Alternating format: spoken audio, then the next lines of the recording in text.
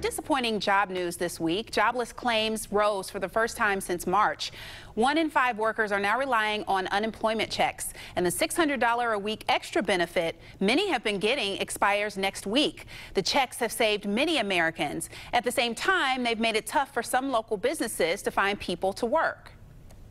If you can make more and not work, why not take that program? We're here, we're hiring. We'd be glad to interview you and put you on. That's all. Congress is negotiating another aid package that might extend that benefit, but the payments will likely be lower.